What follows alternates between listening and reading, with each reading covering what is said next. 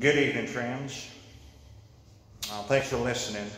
I like to sing some Mean Woman blues, and I hope you enjoy it.